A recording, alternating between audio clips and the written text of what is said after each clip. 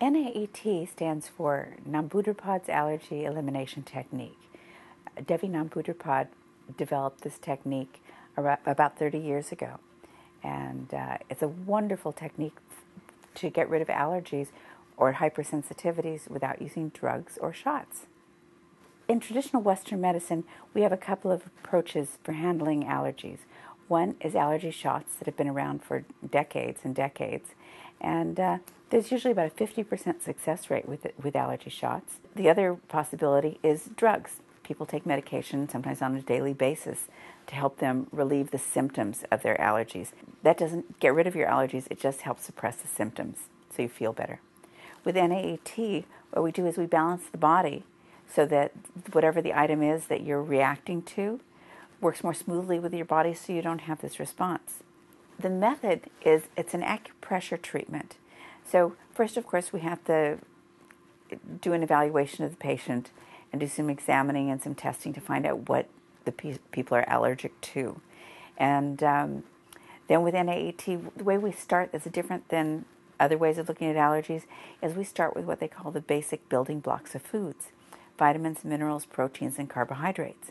Because if, for example, you're allergic to berries, well, if it's the vitamin C in berries, then you're going to be allergic to apples and oranges and peaches and pears and all of the fruits and most of the vegetables. And uh, so when we treat you, or as we call it, clear you for vitamin C, many of those other allergies will just go away because that was the part of the fruit or the berry that you were reactive to. So what happens is when you come into the office, I'll hand you an allergen sample and you hold on to it. Everything on the planet has an energy field around it. So we see what your body, your nervous system response is to these individual items. And then we can determine whether they need to be treated or not. The time frame to, to clear an allergy varies depending on how complex that condition is, how many allergies or sensitivities are contributing to causing it, um, and how strong the person's body is to start with. If they're very sick or disabled, it will take longer. Normally, it takes one treatment to, to clear one vial or one sensitivity to one group of similar substances. After a patient's been treated with NAET, they have to completely avoid the item that we've treated for 25 hours after the treatment. That's part of the procedure. And then after that, we encourage them to eat or be around whatever the item is that we treated and go on and live their life and no longer react to that, that substance.